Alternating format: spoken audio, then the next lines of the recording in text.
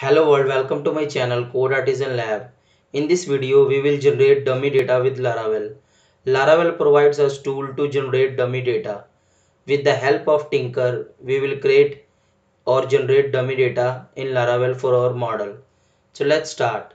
So first of all, we will open our project and open the folder database and open factories and user factory. So here we will use our model. I have already created a model. So I will use my employee model.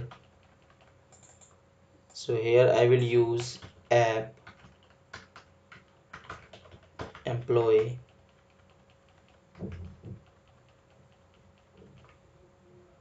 Class. And now this is uh, this is a faker lib uh, laravel using a faker library. So we can check that. Faker php and it will open we will open a github link. And this is the documentation for generating test data or fake data. So we will open this and here you can see that we have we can generate different format of data person address phone number and anything. We will generate mainly three type of formats. So let's open the employee full name email and contact.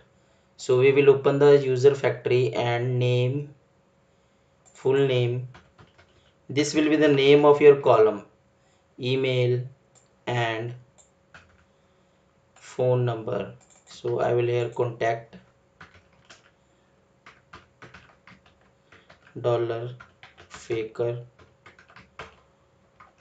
This is very easy method to generate dummy, dummy data for our model. So I will use the phone number. So here I will use phone number.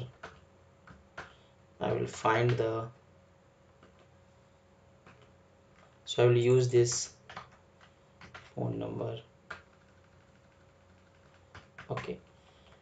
Now we have uh, created our class for generating dummy data. Now we will open our command line and type php artisan tinker.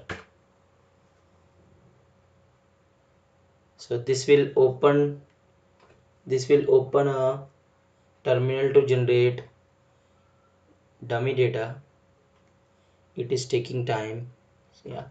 So now so here you can see that it is created by Justin Hileman so we will create here the command is factory app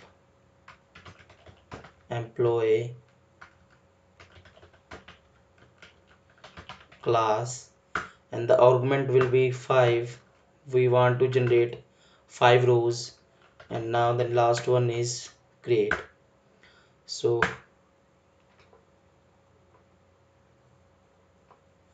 so here you can see that it uh, it it is create it has created a five rows for our database. So now you can check that in your database that rows has been created or not. So we will see the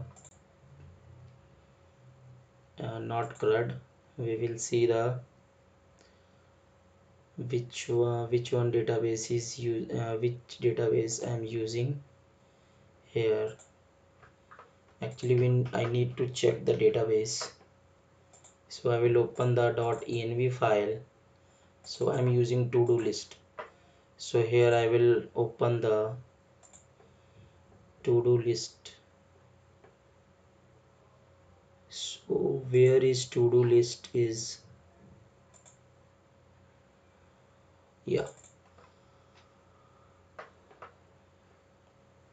So now in employees table you can see that the first two row has been created manually and the third fourth fifth sixth seventh rows has been created by laravel.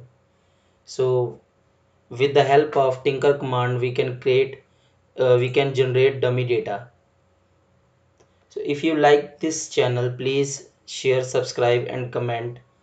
Thank you